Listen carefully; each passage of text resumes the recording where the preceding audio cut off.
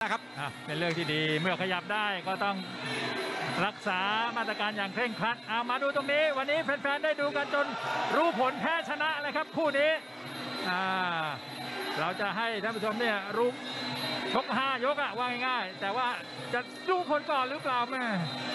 มื่อกี้นี่แกะเอาเข่าขึ้นไปหัวเลยไอ้ไอ้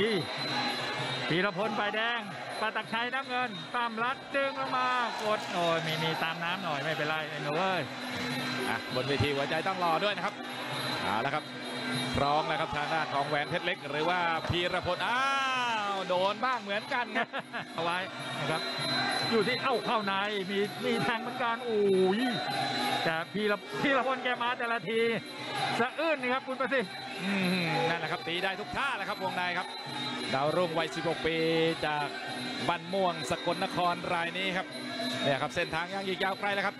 นี่ถือว่าเป็นดาวรุ่งรุ่นใหม่ๆครับแต่ว่าชื่อเสียงบารมีนี่ยิ่งใหญ่มากครับทางด้านของแหวนเพชรเล็กเอาละครับเข้าขวาเสียบเข้าไป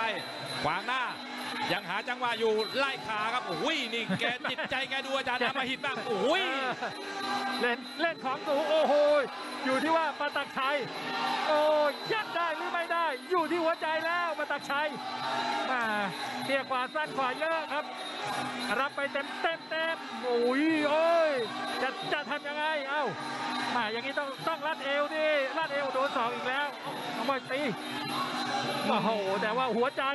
อ่าต้องรัดอย่างนี้มารัดยังไงก็ไม่ไหวเหมือนกันเห็นไหมแกดึงแกโก่งตัวแทงอะ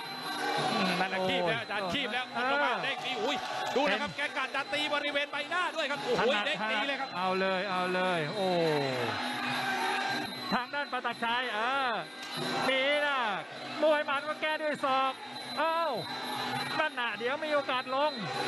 แต่ว่าปล่อยตีเข่าบ่อยๆเดี๋ยวนาน เดี๋ยวน่วมครับอืม นั่นแหละครับสู้เลยครับ ไม่สู้ก็ไม่มีรูชนะพยายามจะงัดศอกสู้ครับ ตามตำรานี่เขาบอกว่านั่นแหละครับมวยเข่าต้องสู้ด้วยศอกจริงไหมอาจารย์ใช่ใช่วิธีแก้ไขนะครับ เพราะว่าศอกถือเป็นอาวุธเด็ดนะครับโป้งเดียวปิดบัญชีได้แม่อะไปซื้อหาไปจ่ายตลาดไปจ่ายของเยอะแยะครับ โดยสิทธิ์เก่าโรงเรียนมัธยมสาธิตปทุมวันนะครับ มีทั้งครูอาจารย์ไปพบปะกันอ๋อ ออกแข่งเต็มเต็มๆครับ โอ้ยพีราพลหรือว่าแหวนเพชรเล็กเอ้าแทง อยู่ที่ปาตักชัย เอายังไง เอายังไง โอ้โห